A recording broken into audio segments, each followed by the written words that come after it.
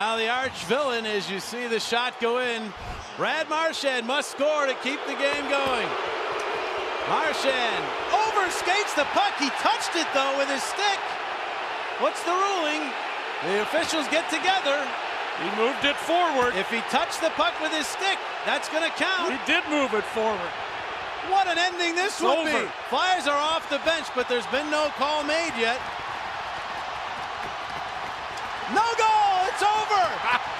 Marchand flubs it. And the Flyers win in the shootout. 6-5 is your final. I'm not sure these fans can have any sweeter an ending than that. Unbelievable. Watch him just touch the top of the puck. Barely. Oh, moves it. Two inches, and that'll do it. If he misses it, he can regroup and come back at it.